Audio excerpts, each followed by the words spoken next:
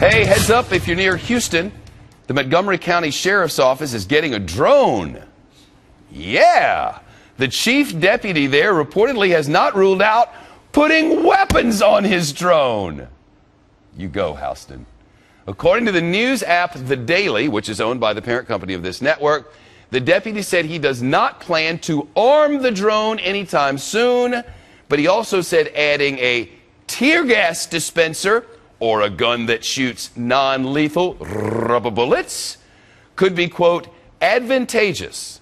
Of course, this will not be the only unmanned aircraft watching U.S. soil. Surveillance drones are already in use across the South, and the Department of Homeland Security has acknowledged it has a fleet of drones for watching U.S. borders and has for years.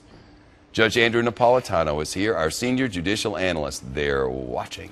This and is, they're considering the, arming their eyes in the air. This is why we have a constitution, and this is why we have federal judges and state judges to stop this from getting out of hand. It's already out of hand. It is. One could make the argument. I'm not making that argument. That would be out of place, but it's an argument that could be made. I will make the argument Thank that if those drones are being used without search warrants, if those drones are watching you inside your house, if those drones are just randomly watching people without any articulable suspicion about the people they're watching, they're violating already existing state and federal laws and say nothing about the Constitution. The, the, the, the test is reasonable expectation of privacy, right? Yes. For instance, if I have a 12 foot high fence around my backyard, no trees around that from which someone could sit and perch and watch, if I have all of that, and you watch from a drone, you are violating my reasonable expectation of privacy. And if I am the government, I am violating the Fourth Amendment as well as numerous other statutes intended to restrain the government. And that's when you go to a federal judge. And yet, up go the drones in and around the Houston, Texas, and oh yeah, we might arm them.